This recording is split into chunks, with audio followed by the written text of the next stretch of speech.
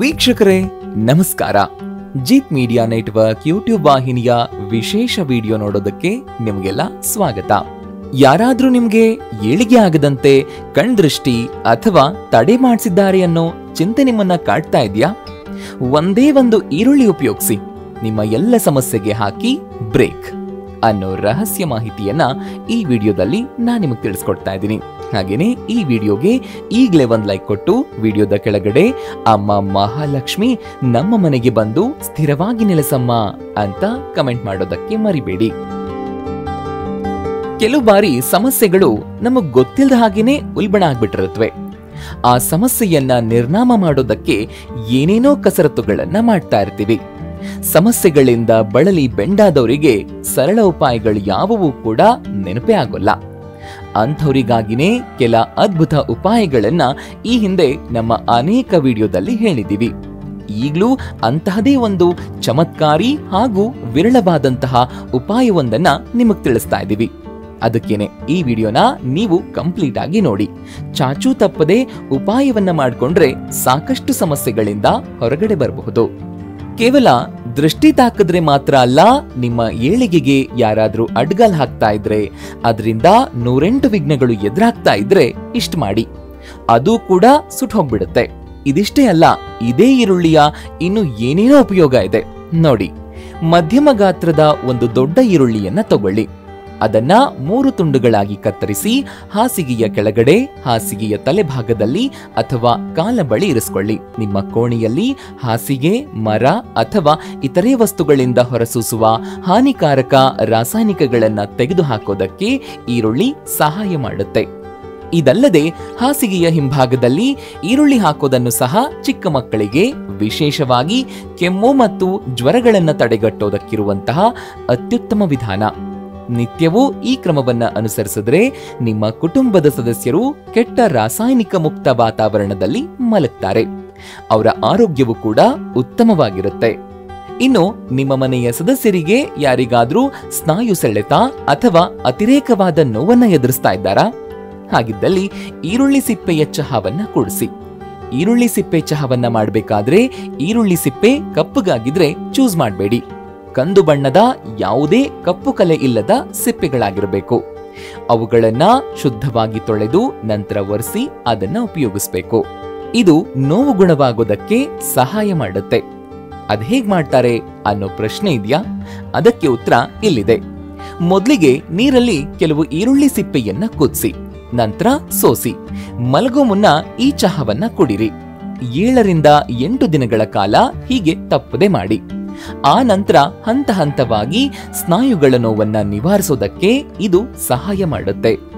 ಇದೇ ಈರುಳ್ಳಿ ಸಿಪ್ಪೆಗಳನ್ನ ಹಾಕಿ ಸಿಂಪಲ್ ಆಗಿ ಚಹಾ ಮಾಡಿ ಕುಡಿಯೋದ್ರಿಂದ ನಿದ್ರಾಹೀನತೆಯು ಕೂಡ ದೂರವಾಗ್ಬಿಡುತ್ತೆ. ನಿದ್ರೆಯೇ ಬರಲ್ಲ ಅನ್ನೋರ್ಗೆ ಈ ಈರುಳ್ಳಿ ಸಿಪ್ಪೆಯು ನೈಸರ್ಗಿಕ ನಿದ್ರಾಜನಕದಂತೆ ಕಾರ್ಯನಿರ್ವಹಿಸುವ ಅಮೈನೋ ಆಮ್ಲದ ಒಂದು ರೂಪವಾದ ಎಲ್ ಟ್ರಿಪ್ಟೋಫಾನ್ನಿಂದ ಕೂಡಿದ್ದು. ಇದು ನಿಮ್ಮ ದೇಹದೊಳಗೆ ಸೇರಿದ್ರೆ ನಿದ್ರೆಯನ್ನ ಪ್ರಚೋದಿಸತ್ತೆ. ಜೊತೆಗೆ ನಿಮ್ಮ ದೇಹದ ನರನಾಡಿಗಳನ್ನ ಶಾಂತ ಮಾಡಿ ನೆಮ್ಮದಿಯ ನಿದ್ದೆಯನ್ನ ನಿಮ್ಮದಾಗ್ಸತ್ತೆ. ಇದು ಆರೋಗ್ಯದ ವಿಚಾರ ಆದ್ರೆ ಇನ್ನು ಈ ಈರುಳ್ಳಿ ಸಿಪ್ಪೆಯ ಇನ್ನೊಂದು ಮ್ಯಾಜಿಕ್ ಅನ್ನ ಕೇಳ್ಬಿಡಿ. ಇದು ಕೆಲವೇ ನಿಮಿಷಗಳಲ್ಲಿ ನಿಮ್ಮ ಕೂದಲಿನ ಬಿಳಿ ಬಣ್ಣವನ್ನ ಹೋಗ್ಲಾಡ್ಸತ್ತೆ. ಅದಕ್ಕೆ ನೀವು ಮಾಡಬೇಕಾಗಿರೋದು ಇಷ್ಟೇ. ಕೇವಲ ಎರಡರಿಂದ ಮೂರು ಮಧ್ಯಮ ಈರುಳ್ಳಿಯನ್ನ ತಗೊಂಡು ಸಿಪ್ಪೆಗಳನ್ನ ತಟ್ಟೆಯಲ್ಲಿ ಇರಿಸಿ. ನೈಸರ್ಗಿಕವಾಗಿ ಕೂದಲಿಗೆ ಬಣ್ಣ ಹಾಕಲು ಮೊದಲಿಗೆ ಕಬ್ಬಿಣದ ಪ್ಯಾನ್ ಅನ್ನ ತಗೊಳ್ಳಿ. ಅದನ್ನ ಮೀಡಿಯಂ ಫ್ಲೇಮ್ ಅಲ್ಲಿ ಬಿಸಿ ಮಾಡಿ. ನಂತರ ಇದಕ್ಕೆ ಈರುಳ್ಳಿ ಸಿಪ್ಪೆಯನ್ನ ಹಾಕಿ. ಸಿಪ್ಪೆಗಳು ಸುಟ್ಟು ಕಪ್ಪು ಬಣ್ಣಕ್ಕೆ ಬರೋವರೆಗೂ ಕೂಡ ಬಿಸಿ ಮಾಡಿ.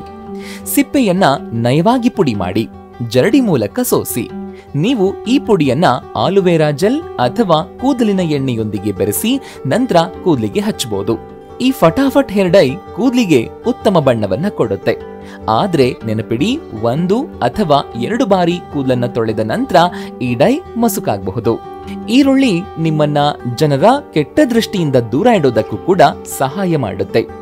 ನಿಮ್ಮ ಯಶಸ್ಸಿಗೆ ವಿಘ್ನಗಳು ಎದುರಾಗ್ತಾ ಇದ್ರೆ ಅದನ್ನು ಕೂಡ ದೂರ ಮಾಡುವಂತಹ ಶಕ್ತಿ ಈರುಳ್ಳಿಗಿದೆ.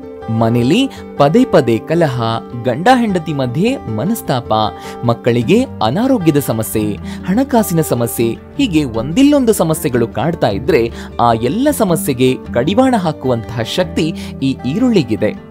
ಅದಕ್ಕೆ ನೀವು ಮಾಡಬೇಕಾಗಿರೋದು ಇಷ್ಟೇ. ಮೊದಲಿಗೆ ಉಪ್ಪು, ಸಾಸಿವೆ, ಕೆಂಪು ಒಣಮೆಣಸಿನಕಾಯಿ, ಬೆಳ್ಳುಳ್ಳಿ ಹಾಗೂ ಈರುಳ್ಳಿ ಸಿಪ್ಪೆಯನ್ನ ತಗೊಳ್ಳಿ. ನೆನಪಿರ್ಲಿ, ಈರುಳ್ಳಿಯಲ್ಲ, ಈರುಳ್ಳಿಯ ತೆಳುವಾದ ಸಿಪ್ಪೆಯನ್ನ ತಗೊಳ್ಳಿ. ಇದು ಕೂಡ ಕೆಟ್ಟ ದೃಷ್ಟಿ ಭೇದಿಸುವ ಶಕ್ತಿಯನ್ನ ಹೊಂದಿರುತ್ತೆ. ಇಷ್ಟು ಪದಾರ್ಥಗಳನ್ನ ತಗೊಂಡ ನಂತರ ಸ್ವಲ್ಪ ಕೆಂಡವನ್ನ ಸಿದ್ಧ ಮಾಡಿಟ್ಕೊಂಡಿರಿ. ಮನೆಯಲ್ಲಿ ಯಾರಿಗೆ ದೃಷ್ಟಿಯಾಗಿರುತ್ತೋ ಅವರನ್ನ ಮುಂದೆ ನಿಲ್ಲಿಸ್ಕೊಳ್ಳಿ. ಹಾಗೆ ನಿಲ್ಲಿಸಿಕೊಂಡ ನಂತರ ಏಳು ಕೆಂಪು ಒಣಮೆಣಸು, ಐದು ಬೆಳ್ಳುಳ್ಳಿ ಎಸಳಿನ ಜೊತೆಗೆ ಅರ್ಧ ಚಮಚ ಸಾಸಿವೆ ಹಾಗೂ ಅರ್ಧ ಚಮಚ ಉಪ್ಪನ್ನ ತಗೊಂಡು ಆ ಸುಡುವ ಕೆಂಡದ ಮೇಲೆ ಹಾಕಬೇಕು. ಇದೆಲ್ಲದರ ಜೊತೆಗೆ ಕೊನೆಯದಾಗಿ ಈರುಳ್ಳಿ ಸಿಪ್ಪೆಯನ್ನ ಹಾಕಬೇಕು. ಇಷ್ಟು ಮಾಡಿದ್ರೆ ಸಾಕಾಗೋಲ್ಲ. ಮುಂದಿನ ಹಂತ ಏನು ಅಂತಂದ್ರೆ ಆ ಕೆಂಡದಿಂದ ಬಂದಂತ ಹೊಗೆಯನ್ನ ದೃಷ್ಟಿ ತೆಗಿಬೇಕು ಅನ್ಕೊಂಡಿರುವಂತಹ ವ್ಯಕ್ತಿಯ ಶಿರದ ಬಳಿ ತಗೊಂಡ್ ಬನ್ನಿ.